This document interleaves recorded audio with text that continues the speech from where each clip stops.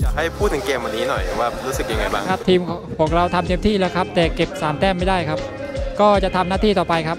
พูดถึงเกมต่อไปหน่อยครับ ที่จะไปบุกเอ่อบุกเยือน PT ประจวบ FC ครับ ก็เกมต่อไปเราก็จะทำให้เต็มที่ครับเก็บจะจะจะเก็บ 3 แต้มให้ได้ครับมีอะไรพูดถึงแฟนบอลหน่อยไหมครับ ก็อยากให้แฟนบอลเคียวสมุทรติดตามผลงานของสมุทรปราการต่อไปนะครับ และช่วยเป็นกำลังใจให้พวกเราด้วยนะครับ อยากให้พี่เท่ห์พูดถึงเกมวันนี้หน่อยครับครับก็เสียดายครับที่เราไม่สามารถ